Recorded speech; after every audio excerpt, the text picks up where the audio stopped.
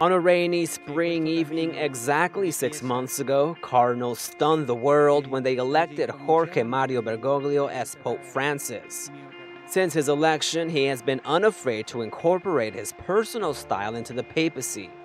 His simplicity and accessibility is exemplified by his decision to stay at Casa Santa Marta, where he continues to celebrate daily Mass for certain Vatican groups.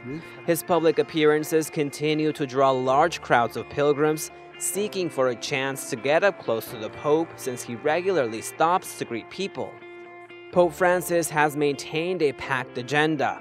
He kicked off his papacy with a busy Holy Week schedule he has celebrated Masses all across Rome for the liturgical calendar, and in July, he made his first international trip for World Youth Day in Brazil.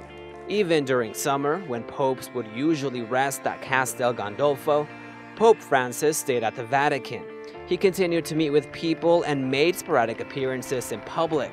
And when he wasn't in public, he would take the time to call pilgrims that wrote to him.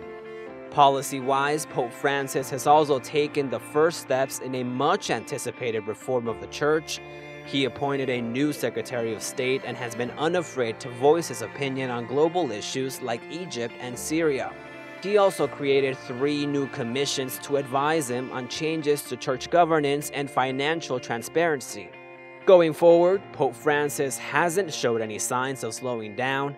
In the next few weeks, he will preside over his first consistory and announce the canonization dates for two former popes. Then, just days later, he will meet for the first time with an important committee made up of eight cardinals. In between, his liturgical and papal calendar is already filled with public events, and there's no telling what other surprises Pope Francis might have in store.